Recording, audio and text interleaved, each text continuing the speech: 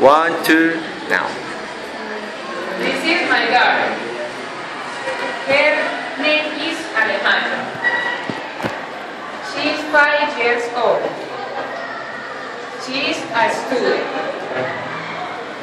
Her favorite food are egg and rice.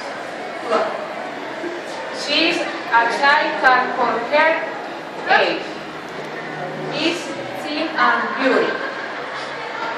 Has- she has long, wavy and brown hair.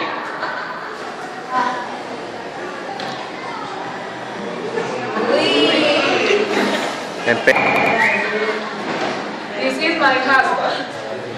His name, David Daniel. He is 28 years old. He is a scholar and a student.